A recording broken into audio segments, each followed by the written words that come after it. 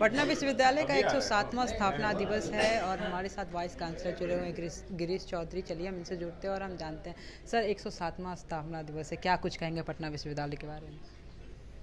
देखिए पटना यूनिवर्सिटी का एक पुराना इतिहास रहा है। मैंने अभी जो भाषण दिया उसमें भी कहा कि बीच में थोड़ी सी कमी आई थी और उसका जो इतिहास बहुत डाउनफॉल हुआ था। उस डाउनफॉल से हम लोग ऊपर उठने की प्रयास कर रहे हैं और बहुत ऊपर उठ चुके हैं। और बहुत जल्दी हम लोग जो पुराना जो पटना यूनिवर्सिटी का गरिमा था उसको प्राप्त करने वाले हैं। सर बार बार सेंट्रल यूनिवर्सिटी की मांग की जाती है। यहाँ तक कि हमारे मुख्यमंत्री ने भी बात की थी प्रधानमंत्री से कि दिया जाए। लेकिन सियासत सिर्फ़ होती है इस पर लेकिन कुछ देखा नहीं जाता। तो क्या कहेंगे इस पर देखिए सेंट्रल यूनिवर्सिटी हो या स्टेट यूनिवर्सिटी हो यूनिवर्सिटी का काम है बच्चों को पढ़ाना रिसर्च करना रिसर्च पब्लिकेशन करना। तो जो काम यूनिवर्सिटी का होता है, वो काम हम लोग आजकल कर रहे हैं। हमारे सारे शिक्षक रिसर्च में लगे हुए हैं रिसर्च प्रोजेक्ट अप्लाई कर रहे हैं, मिला भी है और लोग काम कर रहे हैं। सेंट्रल यूनिवर्सिटी आएगा तो उसमें भी वही होगा। सेंट्रल यूनिवर्सिटी में हम लोग ये करते हैं, कोशिश पैदा होता है कि सेंट्रल से फंडिंग थोड़ा ज़्यादा हो जाता है। अभी आप लोगों ने देखा होगा कि स्टेट गवर्नमेंट से भी बहुत सारे फंड मिले हैं। अभी 300 से ऊपर हम लोग इंफ्रास्ट्रक्चर के लिए मिले हैं। और हम लोग सैदपुर डेवलप करने के लिए भी साढ़े सात सौ करोड़ का प्रोजेक्ट हम लोग जमा किए हैं। तो हर फ़ील्ड में राज्य सरकार से हम लोग को सपोर्ट मिल रहा है और अभी जस्ट हम फिर हम लोगों ने भेजा है दो करोड़ रिसर्च के लिए राज्य सरकार को उसमें भी लगे हुए हम लोग को मिलेगा। तो मेन पर्पस है बच्चों की पढ़ाई का और रिसर्च का वो काम हम लोग कर रहे हैं। सर ये बच्चों के लिए तो सही है लेकिन अगर राजनीति की बात की जाए तो बिहार में राजनीति बस यूनिवर्सिटीज़ पे ही होती है। इसमें जो जहाँ तक आप सेंट्रल यूनिवर्सिटी की बात कर रहे हैं 107 साल पुराना है, ज़रूर इसको केंद्रीय विश्वविद्यालय का दर्जा मिलना चाहिए था।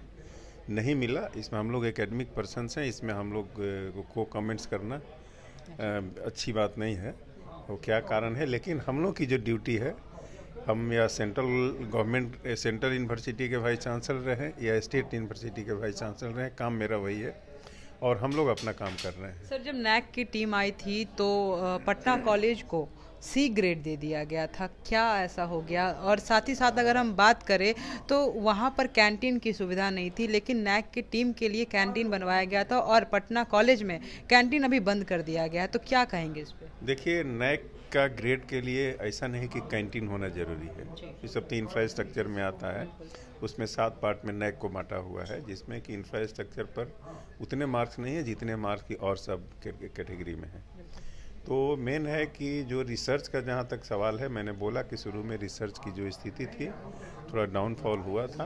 अब हमारे शिक्षक सजग हो गए हैं। अभी आपने देखा होगा कि आदमी जब बहुत ऊंचाई पर चला जाता है तो आदमी में एक थोड़ा अहम हो जाता है कि हमसे बड़ा कोई नहीं है और धीरे धीरे डाउनफॉल होता है, उसको होश नहीं रहता है, जब तक कि मैक्सिमम निगेटिव पर नहीं चला जाता। है तो एक कारण है डाउनफॉल हुआ उसके बाद फिर हम लोग संभल करके उसको आगे ले जाने का प्रयास तो सर क्या उम्मीद है कि मतलब सेंट्रल का दर्जा इस बार मिल सकता है? आगे होकर यूनिवर्सिटीज़ को ये पटना कॉलेज पटना यूनिवर्सिटी को मिलेगा दर्जा? मैं इस पर बोलूँगा कि सेंट्रल यूनिवर्सिटी से कहीं अव्वल दर्जे की पढ़ाई हम लोग व्यवस्था कर रहे हैं रिसर्च का कर रहे हैं।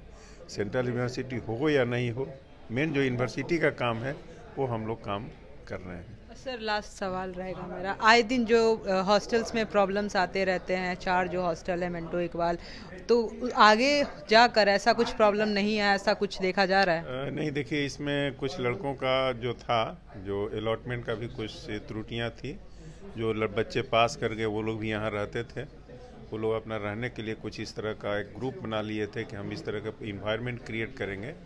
तो जो जेनविन है वो नहीं आ पाएँगे तो हम वहाँ रह पाएँगे। आपने देखा होगा पिछले जो घटनाएँ घटी उसके बाद हम लोगों ने चारों हॉस्टल को एडमिनिस्ट्रेशन के माध्यम से उसको सील कर रखा था। सील किया करीब चार महीना सील रहा। एक बहुत बड़ी बात है एडमिनिस्ट्रेशन को ये करने के लिए। और अभी जो उसको हम लोग मेरिट कम चॉइस बेसिस पर उसको अलॉटमेंट भी कर रहे हैं। एक दो हॉस्टल हो भी गया है और मेन जेनविन बच्चों का अलॉटमेंट हो रहा है। बिल्कुल बिल्कुल तो ये थे गिरीश चौधरी वाइस चांसलर आप साफ़ तौर पर देख सकते हैं, एक सौ सातवां स्थापना दिवस पर क्या कुछ बनाया गया था और पटना विश्वविद्यालय में दूर दूर से लोग पढ़ने के लिए आते हैं और कहीं ना कहीं पढ़ाई के लिए ही पटना विश्वविद्यालय जाना जाता है। तो बने रहे कशिश न्यूज़ के साथ, मैं काजल सर्विस